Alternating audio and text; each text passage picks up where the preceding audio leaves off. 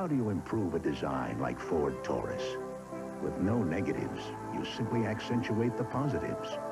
Aerodynamic design becomes slipperier. Instrumentation and controls become handier. An inviting interior becomes friendlier. And in the end, the most award-winning car in its class becomes even classier. The new Ford Taurus. Have you ever wished the good things in life could get even better? Have you driven a Ford lately?